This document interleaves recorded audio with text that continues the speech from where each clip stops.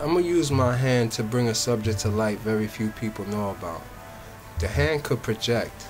Under meditation, as you can see, my hand is projecting images as I wave it back and forth.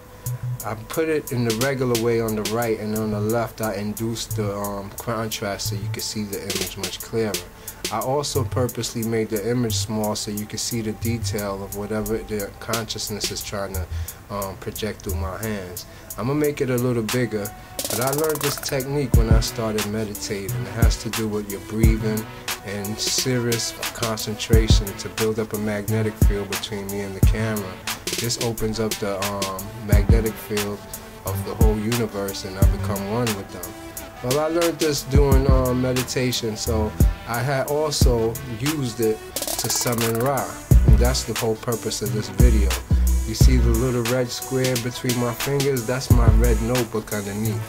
Well, under meditation, when I was learning my hand and how to use it, I realized that the notebook all of a sudden changed. I started pumping it, and within 20 minutes, it turned to, from that little red box right there to this long red image. This is Ra. He been manifesting in my hands. I showed you him as the eye. Now I'm gonna let him live. Watch the rise of the Ra as I summon him. One love.